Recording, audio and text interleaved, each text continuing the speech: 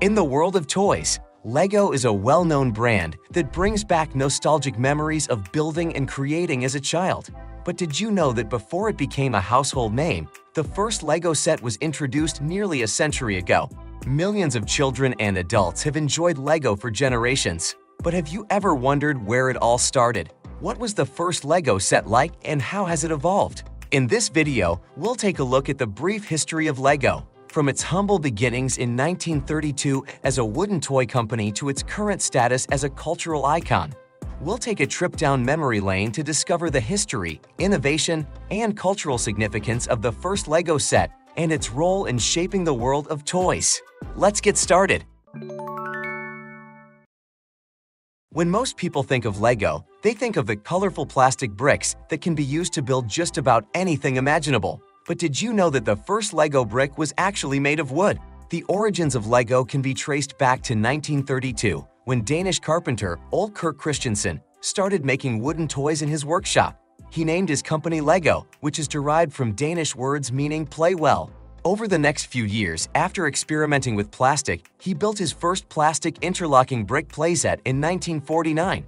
The first plastic set was called automatic binding bricks, and although it was not perfect, its creation marked a turning point in the development of LEGO. LEGO continued to refine and expand its product line until it evolved into the LEGO we know today. In 1955, the LEGO system in play was introduced as a new type of construction toy. It consisted of interlocking plastic bricks that could be used to create different structures and objects, and it quickly became popular with children and families. Let's take a look at the very first LEGO set. With the introduction of the LEGO system, LEGO opened up a whole new world of creative play and learning for children. The LEGO Town Plan was the first theme introduced under the LEGO system and was designed to create a realistic urban environment. And finally, in 1956, the very first LEGO set was born, the LEGO System 236 Garage with automatic door. This was the first set introduced under the LEGO system. It was considered revolutionary for its time combining the fun of building and playing with a classic car garage. With its base plate that can spring the garage door open and close, this set offers a lot of interactivity in addition to being a fun and buildable toy. Following the garage with automatic door, several LEGO system sets were introduced soon after, namely, the LEGO Small House Set, LEGO Small Store Set, LEGO Fire Station, LEGO Church, and the LEGO Esso Filling Station. These sets were made so that LEGO builders could expand their town. After the introduction of the LEGO Town Plan theme and several sets under it, LEGO also included several ranges of accessories for the first time, such as doors, windows, trees, and bushes. The first LEGO accessories were designed to add more realism and detail to the building sets. They also expanded the creative possibilities of the sets and captured the imagination of LEGO enthusiasts around the world.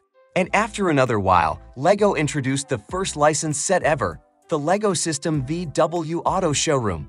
It was a tribute to the iconic car showroom that opened in Frankfurt, Germany in 1957. Three years later, in the 1960s, the Danish company introduced LEGO wheels. Before the introduction of wheels, LEGO models were limited to stationary structures and buildings, but with the addition of wheels, builders could create vehicles and other moving objects. The first LEGO Wheels model was the LEGO System Small Wheels with axles. They were small, round pieces that could be attached to axles and were made of the same high-quality, durable plastic as the rest of the LEGO system. The introduction of LEGO Wheels was an important step in the evolution of the LEGO toy system. So, LEGO sets have come a long way since the introduction of the first LEGO set in 1956. What started out as a simple set of wooden blocks has now grown into a world-renowned brand that offers an array of intricate and diverse sets for all ages. Here's how LEGO sets have changed over the years. The period from the 1960s to the 1980s marked a major milestone in the evolution of LEGO sets and helped solidify LEGO's reputation as a versatile and innovative toy brand. This era saw the introduction of the first LEGO theme and the first LEGO minifigure. The first LEGO theme was LEGO Space. Several themes were added after that, such as Castle and Town, the first minifigure was the LEGO Policeman minifigure from the LEGO Town Police car set. In the 1960s to 1980s, the first LEGO train was also created, the LEGO Basic Building Set with Train. Surprisingly, it was also one of the first LEGO sets with complete elements. It consisted of an engine, a truck, a wagon, a railroad track, four buildings, a policeman, and two trucks. Moving on to the 1990s to 2000s, we can see that LEGO sets underwent a major transformation. The company began incorporating electronic components into its sets, such as lights, motors, and sensors, which allowed for more advanced and interactive building experiences. The first LEGO Star Wars set was the LEGO Star Wars 7140 X-Wing Fighter, released in 1999, while the LEGO Harry Potter 4701 Sorting Hat is the first Harry Potter set and was released in 2001.